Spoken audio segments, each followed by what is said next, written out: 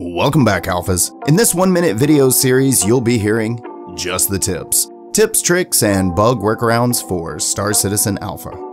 If you've ever looked for your eyewear and found that it's missing, here's the easy way to locate it in your inventory.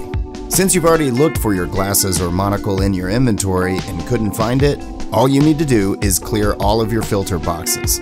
Then, once you press Custom, you should see a list of all your filters appear on the left side. Make sure that nothing is checked, and hit the Clear button at the bottom, even if nothing is checked.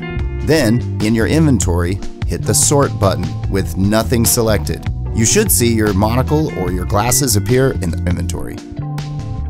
If you find these short videos helpful, share it to your favorite Discord. Tap that like, then we'll know you want more tips, tricks, and bug workarounds. And remember, they can only fix these bugs if we post to the Issue Council, link in the description.